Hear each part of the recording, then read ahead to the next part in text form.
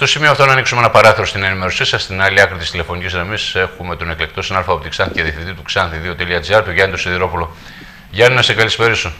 Καλησπέρα Κώστα, καλησπέρα κυρίες και κύριοι. Να ξεκινήσουμε λίγο από τις συναντήσεις που είχε ο Ιάπωνας πρέσβης τόσο στη Ξάνθη όσο και στην, στον νομό Ροδόπης. Ποια είναι τα συμπεράσματα που βγήκαν; Ε, είχε πάρα πολλές επισκέψεις, μια σειρά επισκέψεων και στους δύο νομούς. Συνοδευόταν σε όλη τη διάρκεια της επισκεψής του από τον Γενικό Διευθυντή της ΕΚΕ και πρώην Υπουργό τον κύριο Κοντό.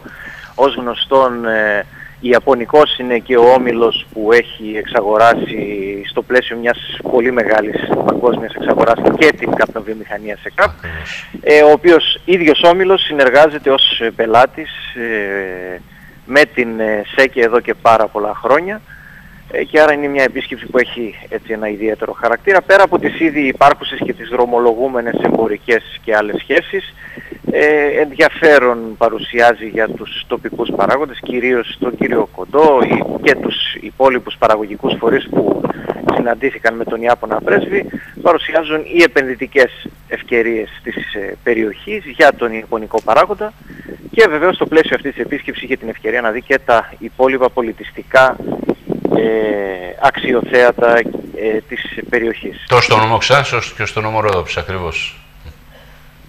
Ακριβώς έτσι. Ήταν μια επίσκεψη αρκετά ενδιαφέρουσα. Έμεινε αρκετές μέρες ο Ιάπωνας πρέσβης και αυτό προφανώς είχε και πολιτικά μηνύματα πέρα από τα αμυγός επιχειρηματικά και διακρατικά που θα μπορούσε κανείς να διακρίνει. Μάλιστα, έχουμε κάτι άλλο σημαντικό από τη Ξάνθη. Ε, οι εξελίξεις είναι στα δημοτικά πράγματα. Πάρα πολύ νωρίς έχουν ξεκινήσει οι κινήσεις ε, από διάφορους ε, έτσι, πολιτικούς και άλλους ε, φορείς. Χθες ήταν ε, ο ΣΥΡΙΖΑ, ο οποίος σε μια εκδήλωση δεν ε, κλήθηκαν έτσι, φορείς ή τα μέσα ενημέρωσης. Ήταν μια κυρίως κλειστή εκδήλωση, αλλά μέσα σε αυτήν παρουσίασε ο γραμματέας του ΣΥΡΙΖΑ την πρόταση του ΣΥΡΙΖΑ στην Ξάνθη για τον ε, Δήμο Ξάνθης, τον κύριο Τάσο Τεφρονίδη, έναν ηλεκτρολόγο μηχανικό από την Ξάνθη, είναι γνωστός έτσι για τη δράση του με τις παλιές φωτογραφίες ε, στο facebook, από εκεί είναι περισσότερο γνωστός. Αυτή ήταν η πρόταση του ΣΥΡΙΖΑ, ο οποίος αναφέρει ότι είχε μια σειρά επαφών τους τελευταίους δυόμισι μήνες, ε, είδε διάφορους και κατέληξε ως πρόταση στον κύριο Τεφρονίδη και από τώρα και στο εξής του δίνει τη δυνατότητα και στο πλαίσιο και της αυτοτέλειας που θεωρεί ότι πρέπει να έχουν οι οι δημοτικές παρατάξεις του δίνει τη δυνατότητα πλέον, τον αφήνει, θα λέγαμε ελεύθερο, να σχηματίσει την δική του ε, δημοτική παράταξη για τον Δήμο της Ξάνθης και τις επικείμενες εκλογές. Όπως είναι γνωστό, είχε και ένα έτσι παρασκήνει αυτή η υπόθεση, καθώς είναι γνωστό ότι ο Σάβας Μελισσόπουλος, ο πρώην Περιφερειακός Διευθυντής Εκπαίδευσης, ε, θα ηγηθεί ενός συνδυασμού για το Δήμο της Ξάνθης.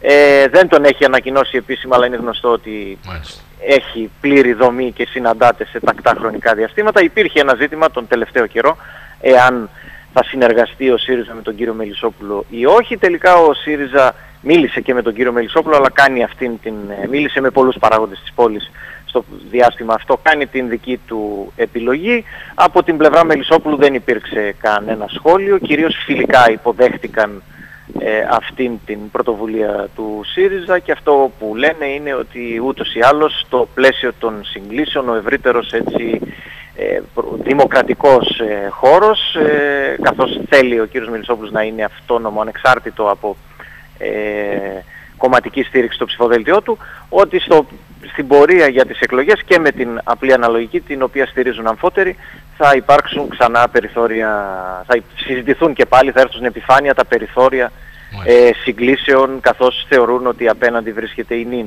δημοτική αρχή και όχι ε, η μία ή η άλλη παράταξη. Μάλιστα. Για να σε ευχαριστήσω πάρα πολύ.